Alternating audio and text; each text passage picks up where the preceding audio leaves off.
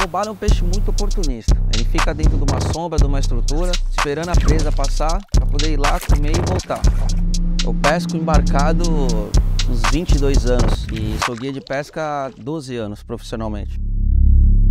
A pesca do robalo no mangue é muito dinâmica. A gente a todo instante, conforme a tábua da maré, tem que ir atrás dele e com estruturas que são difíceis de arremessar, né? A gente tem que ser muito exigente com o arremesso.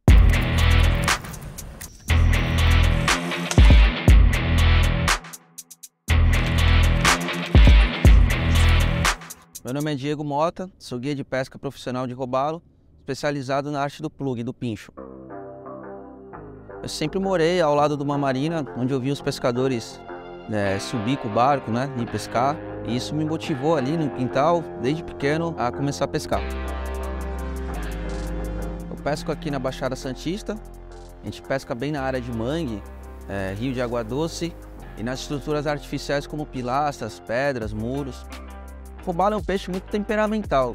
Né? A cada dia ele está de uma forma, ele age conforme a tábua das marés, tempo e até pressão barométrica. A gente tem o robalo pé e o robalo flecha.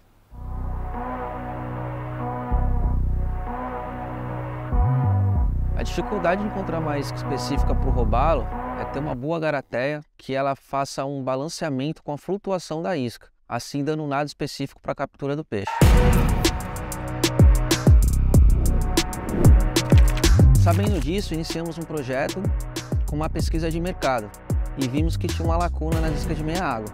Começamos a estudar o que uma isca de meia água precisava na pesca de robalo. Um nado específico, uma barbela quadrada para dar um rastro de bolha e uma flutuação extra rápida.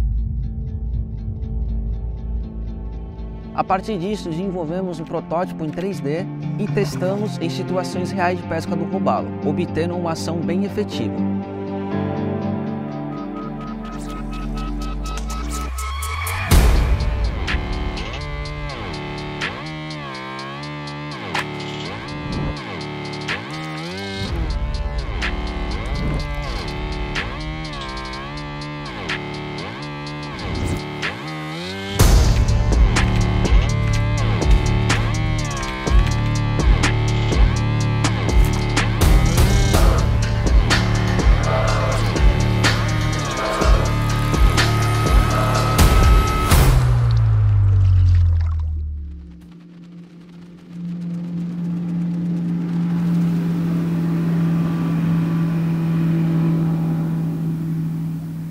A isca te traz características que são bem efetivas na pescaria do robalo.